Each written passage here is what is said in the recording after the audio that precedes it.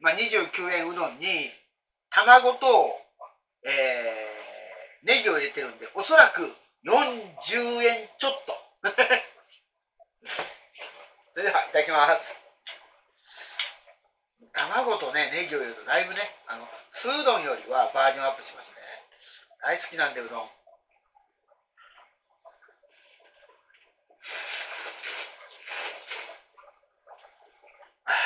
やばい美味しいたまりませんね本当に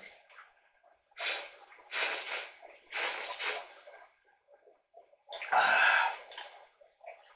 やばいね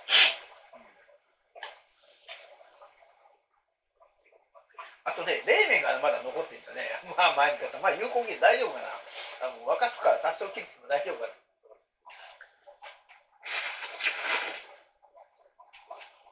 あと、中華丼とかね。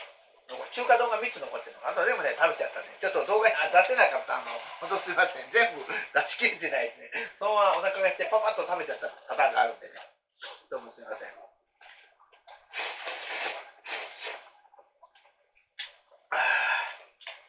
美味しいね。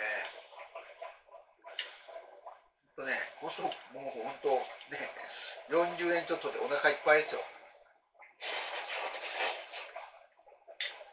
谷間、谷山はね、おかわりしたいんでね、16円で。本当に。すごいですね。あ美味しい。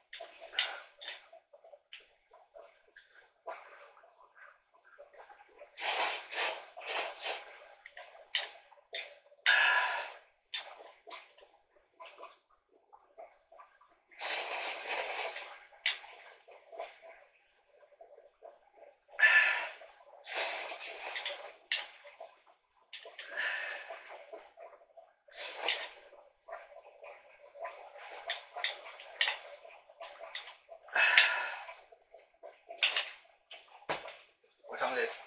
これまたね、あのね、別の器に入れてね、電子レンジでチーンって言わして、あの、なんていうのかな、あれみたいにして食べるんですよ。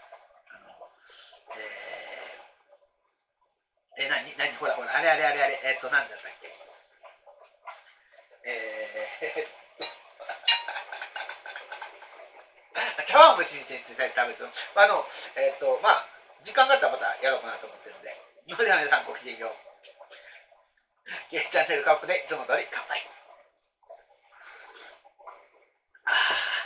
今日は短いけど、これまでで。バイバイ。